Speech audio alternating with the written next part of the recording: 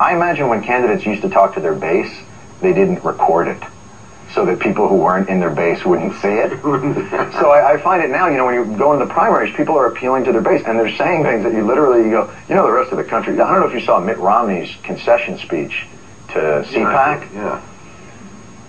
I never heard anything like, you know, this is Mitt Romney, who, by the way, is that guy a Pixar character? Like, is that even, he looks like, uh, uh, an alien pod had created him to be a president. Like somehow it found a handsome guy and stuck an earwig into his ear, and then like it ate away his brain, and just then they just moved it with a remote control on his. What did he say again? I mean, no offense by that. Uh, he said that he was getting out of his campaign because in a time of war, he just couldn't tear his party apart because he felt that that would help Obama or Clinton, and by doing that, he would be helping surrender to terrorism. And you want to sit back there and go, uh, this is being televised.